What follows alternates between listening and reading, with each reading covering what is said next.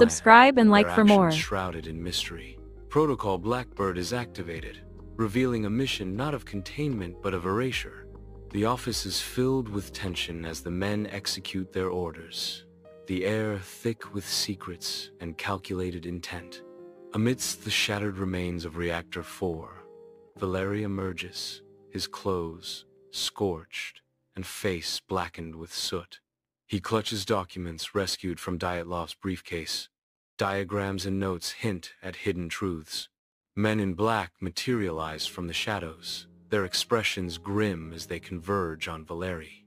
Before he can speak, they seize him. His cry is lost in the reactor's roar. Valeri vanishes into the darkness, the truth buried with him.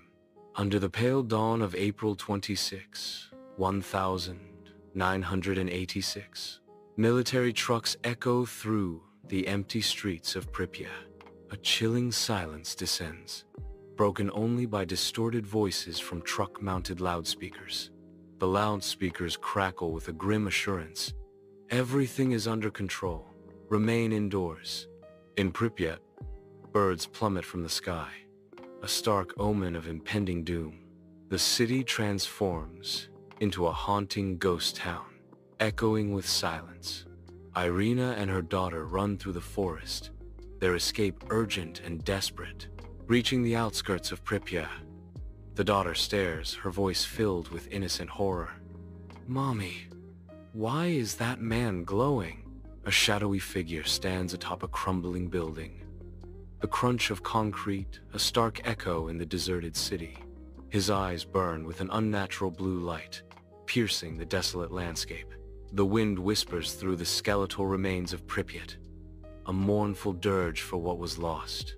Against the desolate skyline, the skeletal remains of buildings reach towards the heavens.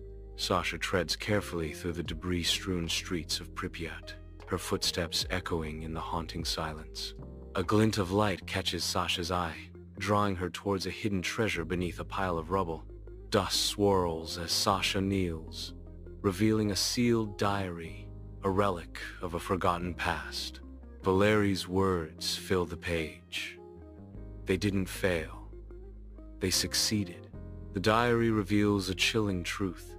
The disaster wasn't a mistake. It was a test. And Chernobyl passed.